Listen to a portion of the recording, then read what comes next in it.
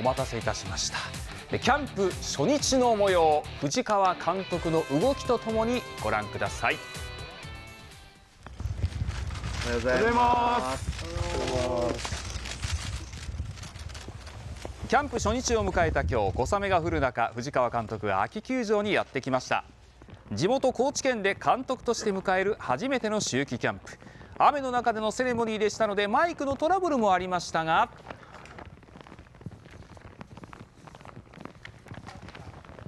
私藤川球児は小さいことは気にしません、はい、あのー、たくさんの OB の阪神タイガースの方々がこの球場で汗を流してきました。それからあのー、子どもたちもここでたくさん汗を流してきました。そんな球場をしっかり使わせていただいてここから、えー、17日まで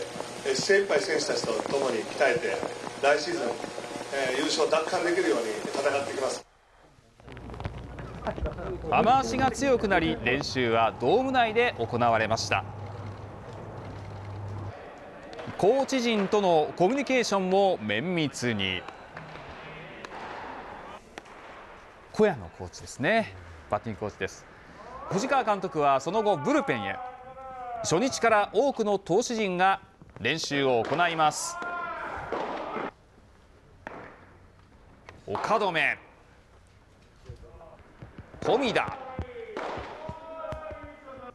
及川。浜地。一軍デビューを果たした川原。茨城。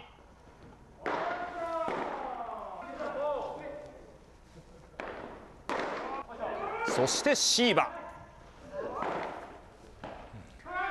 監督自ら選手にアドバイスをしたりそしてキャッチャー目線でのチェックもしたりと今日はいろいろ動き回っていました。まあ、選手たちが非常に活気あふれて天気はねこんな天気でしたけど、あのー、笑顔もありながらその中で追い込んでる姿を見てまあ、選手たちの状態も非常にいいんじゃないかと思いましたテーマに没頭というところを掲げてるんですけど、まあ、練習の合間っていうのはね少しあのリラックスして全然構わないんで始まった時にいかにスイッチが入れられるかっていう、まあ、野球はマノンスポーツですからプレーが止まりますからね。その一瞬一瞬にこうパッパッとスイッチが切り替わるような、まあ、選手の表情とかそういう瞬間を見てますね僕自身は、ね、いやすごく成長を遂げてるなっていう投手はいましたね。あの時間がかかるなっていう選手もいますけど、まあ、まあ一つずつこうチームのこうなんていう糧となるような今日はそういう選手がいたかなと思いますね、はい、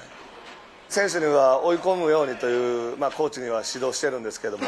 その中でもやっぱり大切なチームにとって大切な財産なんで選手たちっていうのは。だから選手たちがねあの自分の野球人生通して例えばこのキャンプで大きな故障してしまってその後キャリアを失うというようなことは全く求めてなくてそこのギリギリのところをまたこう、まあ、僕たち首脳陣が見極めていかなければいけない大きな責任がありますからそのギリギリでねあの最高のこう作品じゃないですけどね選手になっていってもらうことを願っているので日々こっちも押して引いて悩んで攻めてっていうところにはなると思います。はいという雨の中でのキャンプインでしたけれども福本さん印象としていかがでしょう？いやまあピッチャーエンジンかかるの分かりますね。やっぱり目の前で見てもらうね今まではそういうのは少なかったからキャンプの秋のキャンプで目の前で見てもらえるのはもう選手はめちゃ嬉しいですよ。ああいいもの見せようとまた力入ってますね。そうですね、うんぱりピッチャーに対して結構こうコミュニケーションを取るっていうシーンも数多く周期練習からね見受けられますが。自分がやってきたことでいいこといろんなものやってきたことをちょっとアドバイスできるとかね、やりやすいでしょうしね。そうですね。浜中さん、まあ、コーチ陣とのコミュニケーションの映像もございましたけれども、はい、どんな印象でしょうか、まあ、本当にこの甲子園練習からもそうでしたけど、うん、いろんな選手に声かけしたりっていうのを、がすごくやっぱり目立ってるんで、うん、だから選手も本当にいい表情をして、はい、えー、練習してたなっていうのもやっぱあるんで、はい、まあ、ここでもねやっぱり笑顔やっぱり見えてますし、ん。まあ、本当に今のところ順調にねこうコミュニケーションをしっかり取りながら、うん。えーまあ、特に投手陣だと思うんですけど、はい。いい練習遅れてるんじゃないかなっては感じましたけどね。なるほど。ではこの秋のキャンプのメンバーをここでチェックしておきましょう。まずピッチャーです。はい。20名これだけのね人数、まあ、外国人選手もいますけれどもまず福本さんどうでしょう？投手陣の顔ぶれご覧になって気になる選手。やっぱり若い人があれですけど僕気になるのはね森木、お森木投手。えーちょっとあの故障があったりしてそうですね。もう頑張れないかんなと思ってますね、うん。まあ、大岡とかみんなねこう復活してきてますからね、はい。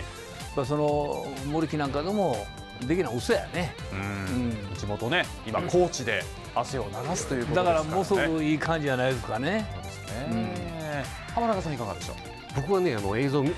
球しか見てないんですけど、はい。シーバーうはいはいはいシーバ投手。はい。あの2年目を迎えます来今年1球しかあの投げてないところ、はい。映像しかないんですけど、うん。結構腕触れて、はい。ちょっと躍動感というところ出てきたと思うんで、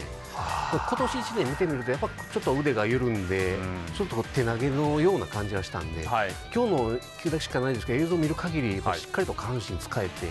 うん、腕もしっかり触れてるんでだって159キロですよねマックスね、はい、それぐらいの能力ある投手なんで、うん。僕はちょっとシーバーに期待したいなとは思いますね。ねまあ早くも成長が感じられるピッチャーが一体誰なのかというところもね気になりますけど、あと一軍で今年活躍した桐敷西あたりもね、しっかり秋季キャンプに参加して汗を流しているという状況ですが、では野手に行きましょうか。はい、ご覧のような選手が参加していますけれども、福本さんいかがですか？野手に関して。野手あのキャッチャーの3人ねあんまりこう出てきない人だから見てもらえるっていうのはあるし、チャンスですよね。うん。外野でねやっぱり井上であるとか島田がだいぶマシになったなとかね、はい。前川が当然のことながら頑張らないからね、えー競争は激しいですねでもね。そうですね。浜中さん、はい。佐藤中野、そうです。僕今挙げようと思ったのがやっぱり中野なんですよ。も今年やっぱり2割3分2厘とやっぱり打率がねやっぱ落ちましたし、昨年優勝した時ってやっぱり1、2番がやっぱつないで、初回で点を取るっていうこと結構多かったんですけど、はい。今年は途中で送りバントだったりとか、でそういう作戦がやっぱ多かったんで、はい、この中野のやっぱり打撃の復活っていうのは来季のこの優勝っていうところかかってくるんじゃないかなと僕自身は個人的にやっぱ思ってるんで、はい、中野の復活ですね。なるほどね。は今日もね相当早い時間にグラウンドにカーの姿を見せたというふうに聞いてますので、中野自身すごい課題っていうのはもう明確に見えてるっていう話を終盤あたり今年のシーズンのあたりしてたんではい、そこら辺をどうしてくるのかなっていうのはすごい楽しみありますね。なるほどね。はいまあ39名というねうんかなり最近では多い参加人数だと思うんですけど、そのあたりの細かい話も来週の熱血タイガーストで福本さんを中心にまた伺っていきたいというふうに思っております。藤川監督来週は高知県から生中継に登場してくださいます。以上ウィークリータイガースでした。